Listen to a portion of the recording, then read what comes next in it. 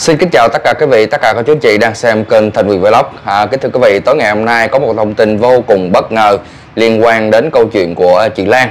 Có thể thấy rằng là Đinh Lan đã khiến chúng ta rồi là hết bất ngờ này cho đến gọi là bất ngờ khác. Mới đây thì à, Đinh Lan vừa mới thông tin à, về cái câu chuyện mà mình đã đi à, tìm luật sư Hồ Nguyên Lễ để à, nói về bàn bạc về cái câu chuyện à, tố cáo à, đối với à, CEO Nguyễn Phương Hằng luôn. À, buổi sáng ngày hôm nay thì à, Đinh Lan tuyên bố rằng là cái phiên phúc thẩm lần này thì à, 46 youtuber phải vừa khóc vừa xin lỗi Đinh Lan. Ừ, thì chiều nay Đinh Lan lại tiếp tục đăng một cái bài rất là dài với cái nội dung cũng khá là sốc cũng liên quan đến cái phiên phúc thẩm lần này là ngày à, 11 tháng 3 năm 2024 sắp tới đây thưa cô chú anh chị. Ừ, Đinh Lan nói rằng là Hàng Ni đã không còn gì để mất nữa rồi nên phiên phúc thẩm Đinh Lan sẽ nối luôn phần của cô ấy cho hội đồng xét xử biết. Cái câu này thì mình có thể thấy rằng là vô cùng khó hiểu luôn cô chú anh chị. À, tại sao mà Đinh Lan có thể biết là Hàng đi không còn gì điểm mất nữa rồi? Đối với Thanh Quyền thì à, mình đánh giá rằng cái phiên à, à, gọi là xét xử sơ thẩm vừa qua đó khi mà Hàng đây bị tuyên án một năm 6 tháng tù. À, với cái độ tuổi của cô này thì à, mới bốn mấy tuổi rồi cô chú anh chị. Và đã bị tạm giam hơn một năm rồi à, như vậy thì nếu như đi thi hành án ngay lập tức luôn như mình đã chia sẻ đó thì à, à, rất là nhanh chóng đi trở về. Cuộc đời nó còn rất là nhiều thứ nhưng mà Đinh Lan nói là không còn gì để mất nữa rồi. Thì mình thấy là Hàng Ni còn rất nhiều điều để mất. À, và mình dự đoán rằng đó nha là Hàng Ni sẽ không có mặt tại cái phiên phúc thẩm lần này đâu. Ừ, nhưng mà Đinh Lan nói rằng là Đinh Lan sẽ nói luôn phần của cô ấy. Mình lại càng thấy buồn cười hơn. Bởi vì nếu như cái phần á, của ai đó thì người ấy tự nói. Ừ, chứ Đinh Lan à, đâu có cái, cái cái cái quyền mà nói chung là đâu phải là người đại diện hợp pháp gì của Hàng Ni đâu. À, hay là là luật sư của Hàng Ni à, đại diện cho Hàng Ni để mà tham dự cái phiên tòa lần này à, để mà nói rằng là mình sẽ nói luôn phần của gọi là Hàng Ni cho hội đồng à, xét xử biết. Mình thấy rằng mình khá là buồn cười. Thì cứ để cho chị Lan nói để cho xem rằng về phía hội đồng xét xử xem xét à, như thế nào có khi lại bác luôn cái lời của chị Lan. À, À, tại vì chưa chắc gì Đinh Lan gọi là được nói à, tại cái phiên tòa lần này nữa cô chú anh chị ha. Ừ, cũng may là thánh kiện Đinh Thị Lan. Đinh Lan tự nhận mình là thánh kiện luôn. Đã nộp 55 bộ đơn tố cáo Nguyễn Phương Hằng cùng 46 youtuber suốt gần 3 năm qua đã được kết quả tốt đẹp vào phiên phúc thẩm ngày 11 tháng 3 2024 là giải quyết những đối tượng vi phạm pháp luật bằng luật pháp chứ không bằng phản biện trên mạng xã hội. Không biết là Đinh Lan đã nhận được cái thông tin tốt đẹp gì nhưng mà Đinh Lan nói rằng là cũng may là thánh kiện Đinh Lan là thánh kiện luôn cả nhà. Cái này là chị chị Lan chỉ tự nhận nha không ai gọi là là ép buộc chị nhận nha chị Lan. À, đã nộp 55 bộ hồ sơ à, 55 bộ đơn tố cáo là kinh khủng của chú anh chị. À, là là đã được kết quả tốt đẹp. Mình không biết là cái thông tin gì mà Đinh Lan đã tuyên bố rằng đã được kết quả rất là tốt đẹp vì hơn 600 video clip Đinh Lan đăng trên mạng xã hội toàn kêu gọi các youtuber nên tuân thủ pháp luật nên không có hành vi vu khống và lập nhục người khác hay tấn công. Tại nhà tôi Đinh Lê Thị Lan nữa. Ừ, Đinh Lan nói rằng Đinh Lan kêu gọi. Mình mình thấy rằng là Đinh Lan toàn chửi bới xúc phạm chửi bới nhục mạ ta không à, à có cái thấy cái nội dung mà vừa kêu gọi vừa chửi bới đâu. Ừ. tôi đã từng đến gặp luật sư Hồ Nguyên Lễ. Đinh Lan đã từng đến gặp luật sư Hồ Nguyên Lễ để làm điều gì nha? Để xin ông ấy nói với ông Huỳnh Y Dũng lại kêu 46 youtuber dừng tấn công tôi lại thì tôi sẽ không tố cáo bà Nguyễn Phương Hằng nữa. Đấy, Thanh Nguyên thấy rằng là à, cái à, các kênh youtube thì nhắc đến Đinh Lan và bản thân chị Lan thì cũng nhắc cũng chửi bới người ta hàng ngày trên không gian mạng. À, cũng giống như cái việc mà giữa hàng đi bà và bà Phương Hằng thôi cô chú anh chị nếu mà đưa ra pháp luật đó thanh quyền nghĩ rằng nó cũng y vậy đó. Bản thân mình thì mình không có dùng những từ ngữ tục tiểu hay là tấn công tại nhà của chị Lan như chị Lan nói. Mà chị Lan vẫn gọi là hàng ngày nói rằng là là à, hàng chục kênh YouTube tấn công nhà Đinh Lan. Mình không hiểu là Đinh Lan đã làm cái trò mèo gì nữa. Ừ, Đinh Lan nói rằng là mình đã từng đi gặp luật sư Hồ Nguyên Lễ và luật sư Hồ Nguyên Lễ đã trả lời như thế nào ha? Nhưng ông Lễ không đồng ý và nói tôi hãy tìm ông Huỳnh Đi Dũng để nói đi. À, chứ ông không lễ ông lễ không thể can thiệp vào câu chuyện này vì ông ấy chỉ có trách nhiệm lo về phương diện pháp lý chứ không lo chuyện riêng tư của vợ chồng ông Bùi Đi Dũng và Nguyễn Phương Hằng. Đúng. Nếu Đinh Lan ngon á Lan giỏi đó Lan thích đó thì cứ đến tìm ông Huỳnh Đi Dũng để mà nói về cái câu chuyện này. À, mà mình nghĩ rằng Đinh Lan à, biết đâu đến đại nam đó à, không biết được vô cổng không nữa cả nhà. À, chứ chưa nói đến cái câu chuyện mà tìm gặp ông Đình Dũng. Ừ, biết là ông Dũng có tiếp Đinh Lan hay không. Cho nên là cái vấn đề mà Đinh Lan tiền uh, ờ, luật sư Hồ Nguyên Lễ mình thấy rằng luật sư ờ, Hồ Nguyên Lễ trả lời rất là đúng. Cái câu chuyện đó câu chuyện riêng tư vợ chồng ta. Còn cái vấn đề mà luật sư Hồ Nguyên Lễ làm việc cho vợ chồng của doanh nhân Nguyễn Phương Hằng đó thì vấn đề liên quan đến pháp lý thôi. Còn cái câu chuyện đó thì ông ấy uh, trả lời như vậy thanh quyền thấy rằng vô cùng chính xác luôn cô chú chị. 40 youtuber cần tấn công đinh thị lan thì càng nặng tội thêm cho các người thôi nhé. À, mình thấy rằng à, đơn cử cái câu chuyện mà về phía hội đồng xét xử uh, của cái phiên tòa ngày à, uh, 1 tháng 3 vừa qua đó người ta cũng nói rất là rõ. Giống như là hàng ni nói rằng là bà hàng uh, à, tấn công hàng ni. À, mình nói là cái lời nói của hàng ni nha. Thì tòa án cũng nói rằng là bị cáo là người à, yếu lực.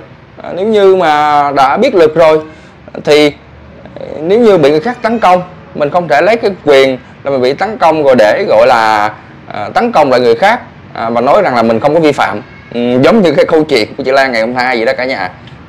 À, thì bởi vì hàng đi à, hội đồng xét xử giải thích rằng đi có quyền đó chính là à, làm đơn kiến nghị xem xét hay là tự vệ bằng một cách khác à, chứ không phải là đi tấn công ngược lại người ta. Như vậy là cũng là không đúng. Bà đã xử bà Hằng với 3 năm tù Hằng đi thì chỉ một năm 6 tháng thôi. Và chúng ta thấy là rõ ràng là công bằng à, nghiêm minh. À, còn chị Lan thì chỉ nói rằng là à, chị gọi là là bị tấn công thôi. Còn bản thân chị là không có tấn công nhục mạ vu khống ai hết trơn thì à, cả thế giới đều biết những cái lời Lan nói là toàn là sự thật hết đó cô chú anh chị sự thật hết. À, chỉ của mình Lan bị tấn công thôi. Còn Lan là không đi tấn công người hả người ta. Nói chung là ai cũng biết Lan chị Lan là, là, là, là người như thế nào hết. Nhưng bản thân chị Lan thì không biết mình. Là ra làm sao? Ừ, cái thông tin mà mới nhất thì Đinh Lan có liệt kê ra trong đó là lên đến 40 kênh YouTube thì những cái tên vô cùng quen thuộc rồi. Của chú anh chị thấy là rất là là là à, ai cũng à, bị Đinh Lan liệt kê. Mỗi khi nhắc đến chị Lan à, mỗi khi mà phản biện Đinh Lan bất cứ những cái à, nội dung gì đều đều bị gọi là Đinh Lan à, lên gọi là tắt cộng đồng hết. Chưa hết nha. Còn một cái bài đăng à, mới nhất đây luôn. Ừ, chỉ bà Nguyễn Phương Hằng cùng 46 youtuber được quyền vu khống và nhục mạng người khác thôi chứ hả? Chứ không ai được phản kháng lại hay sao? Thì mà cái này, câu này mình cũng đang rất là thắc mắc. Không lẽ là chỉ mình Đinh Lan là được quyền vu khống nhục mạ người khác thôi? Chứ không ai được quyền phản kháng lại hay là như thế nào? Mà sao mà mà à, mình thấy cũng khá là lạ lùng ở đây. Ừ, pháp luật sẽ xử lý mạnh tay người phản biện. À, Nguyễn Phương Hằng à, vì bà Nguyễn Phương Hằng à, tuyên bố lấy tiền trả thân à đây mình thấy rằng là những cái câu này mình vô cùng quen thuộc với những cái giọng điệu nó lương lẹo và xuyên tạc của gọi là à, chị Lan. Bản thân bà Hằng là người bị xử lý đầu tiên và thậm chí là 7 đến 3 năm tù. Thưa quý vị ừ, còn hàng Ni à, với những cái luận điệu của hàng Ni cho chúng ta thấy rằng là kêu bằng à, tự vệ ừ, thì một năm 6 tháng tù đó ừ, Đinh Lan chưa thấy rõ hay sao? Mà tại sao Đinh Lan còn nói rằng là à, pháp luật sẽ xử lý mạnh tay những người phản biện rồi là những người mà binh giật cho bà ấy thì không bị xử lý này các kia các kiểu. Chúng ta thấy rằng à, à với cái giọng điệu của Đinh Lan thì Đinh Lan vẫn cho rằng là pháp luật đó không có công bằng ở đây. À, mục đích của Linh Lan à, gọi là muốn tiền tiền là như vậy đó.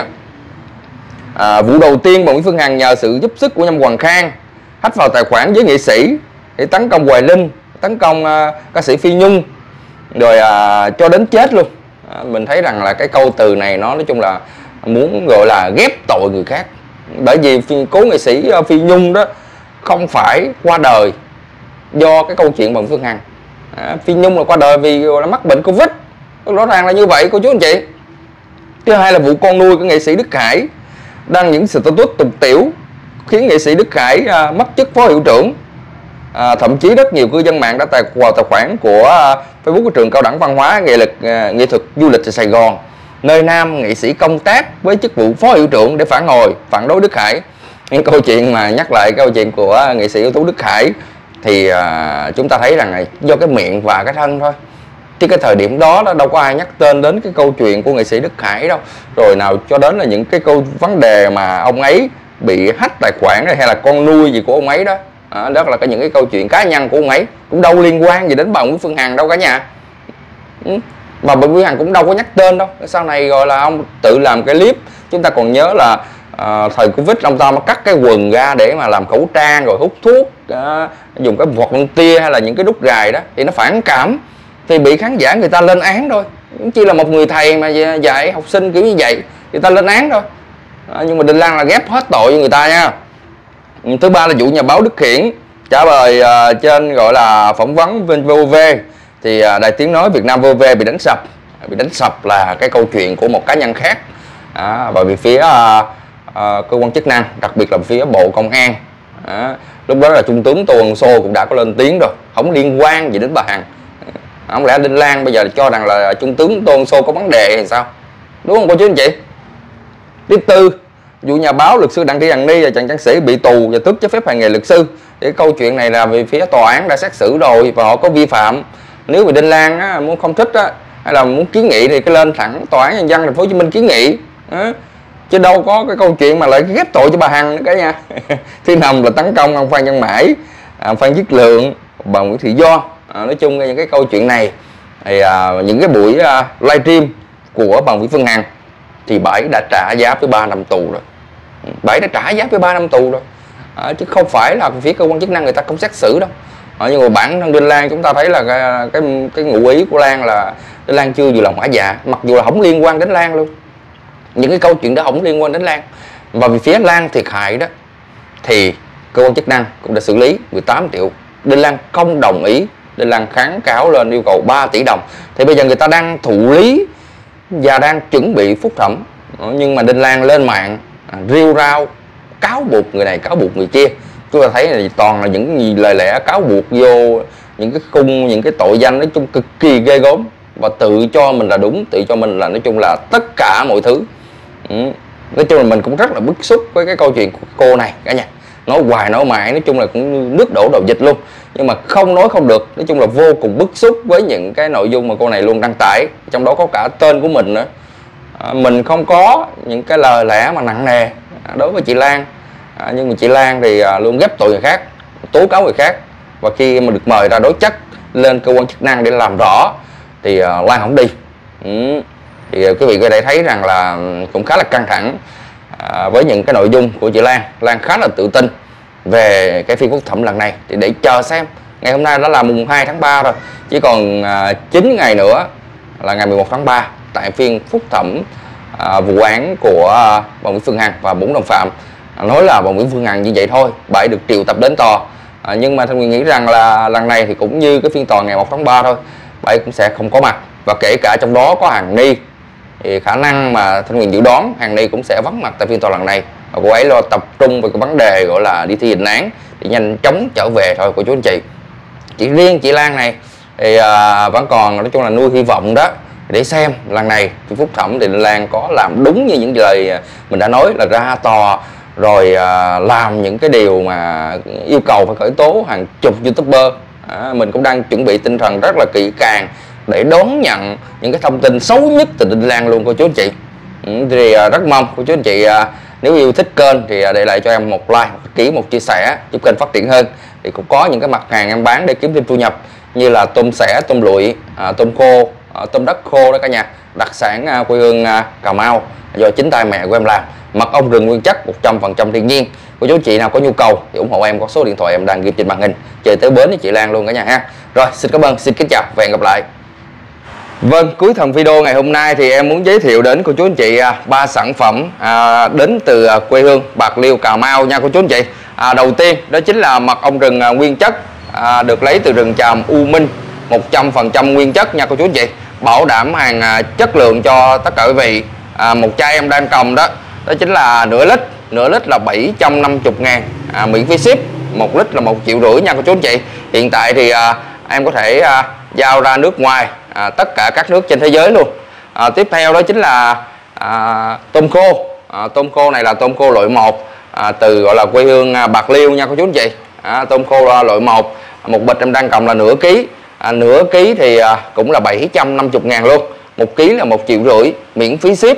À, à, tiếp theo thì à, là trà bông tôm. Trà bông tôm này được làm từ con à, tôm đất thiên nhiên à, từ quê hương à, bạc liêu cà mau.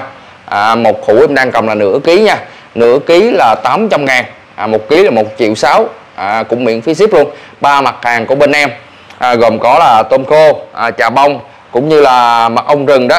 Thì ba mặt hàng này đều miễn phí ship và hiện tại đều có thể à, giao qua tất cả các nước trên thế giới. À, các vị khán giả nào trong và ngoài nước có nhu cầu sử dụng thì à, mong rằng cô chú anh chị ủng hộ à, đặt hàng qua các số điện thoại em đang ghim trên màn hình 039 5652 797 xin cảm ơn quý vị rất nhiều. Hẹn gặp lại tất cả cô chú anh chị.